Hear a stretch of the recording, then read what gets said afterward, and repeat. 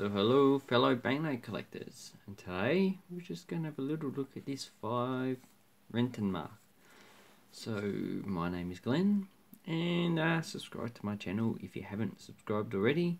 And also see my links down below. I do have an eBay store in which I sell stuff. Maybe I'll sell this banknote. Never know.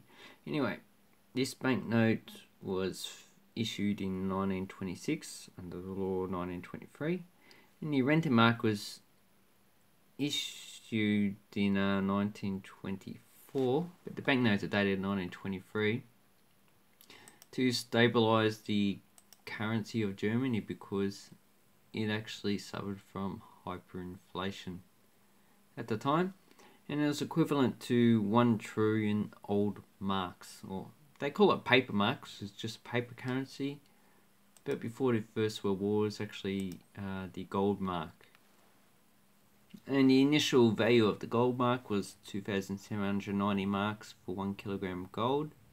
One mark equals uh, 358 milligrams.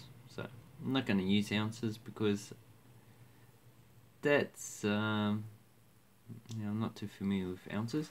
So with this banknote we have our two serial numbers. So this one has three, six. This one has eight, but you also have one with seven and they have one lettering. It has an allegorical feature of a, a female carrying wheat. So an allegorical feature just means that it is uh, just to represent something. And as these banknotes were uh, backed by mortgaged land that was mortgaged to uh, 3.2 billion Rentenmark, this is more like a, a, a guarantee of uh, its value compared to the land. And this banknote is actually not legal tender.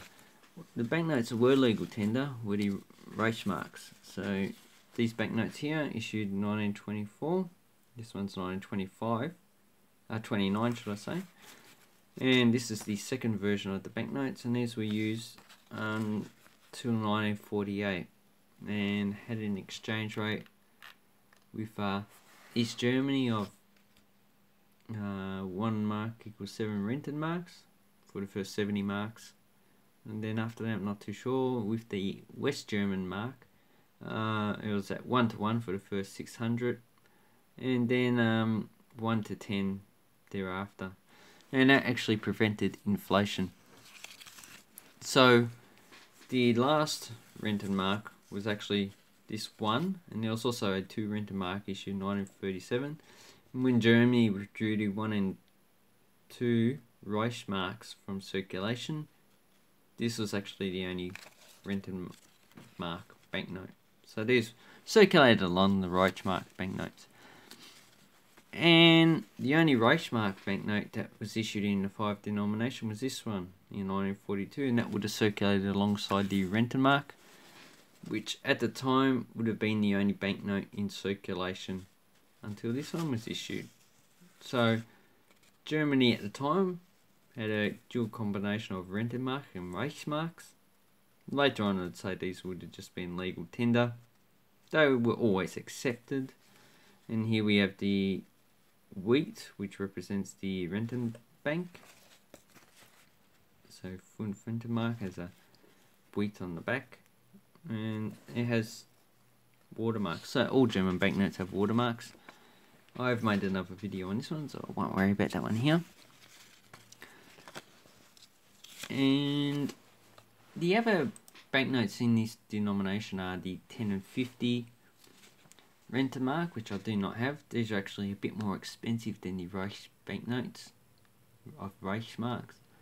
Uh, and they actually the first issue goes from 1 Rentenmark to 1000 so 1 2 5 10 50 100 500 and 1000 Rentenmark and a lot of the high denominations are actually very hard and expensive to get. The 1000 Reichsmark itself is expensive anyway.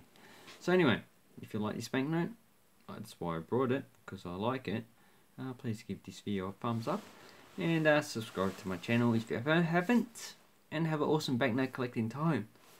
See my links down below. Bye bye people.